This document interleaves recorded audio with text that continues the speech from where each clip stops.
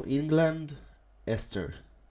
Agroplants.org, uh, also known as uh, Symphyotrichum uh, Novae Angliae or Michaelmas daisy. Horrible name, by the way. Easier in New England Aster. So, uh, this is a bascule, a bascus plant. It's perennial evergreen, also possible to grow it as an annual in a colder climate. Uh, it's used for ornamental beautiful flowers, as you can see they are quite of impressive.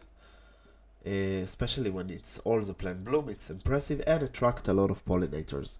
It's a drought tolerant plant, can uh, use, the, use the flowers as cut flowers, and of course, as I said, attract pollinators. Grow in a variety of climate, temperate, Mediterranean, or subtropical.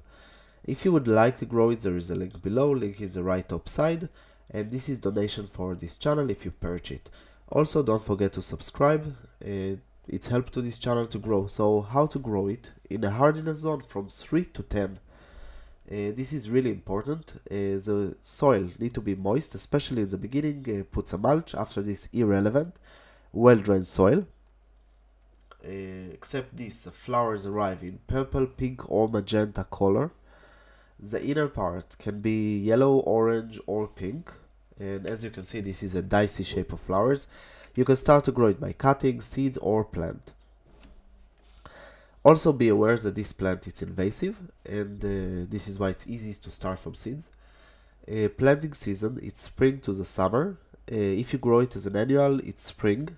If you choose to grow it as an in hardiness zone of 10, can be uh, from the spring to the autumn. Major pests are the aphids, it uh, can be crucial for the plant, might die. And the size of the plant, it's uh, from 60 centimeters to 1.2 meters, so it's mean 24 to 48 inches. Uh, it's mean uh, 2 to 4 feet. In the right condition will be a fast growing plant that requires small to average amount of water I remind it's also drought tolerant. But if you use it as a drought tolerant plant it means that you forget to put water. You might see less uh, flowers than the usual. Blooming season it's from the summer to the autumn. And except this it's uh, it's something uh, in each garden, in my opinion, you should have one at least uh, attract pollinators uh, plant because it's important for the balance of the fruits if you have fruits. And each year I try another kind of variety of another kind of plant. Uh, and you should maybe try to consider to grow it because this is easy plant to grow and it doesn't require much.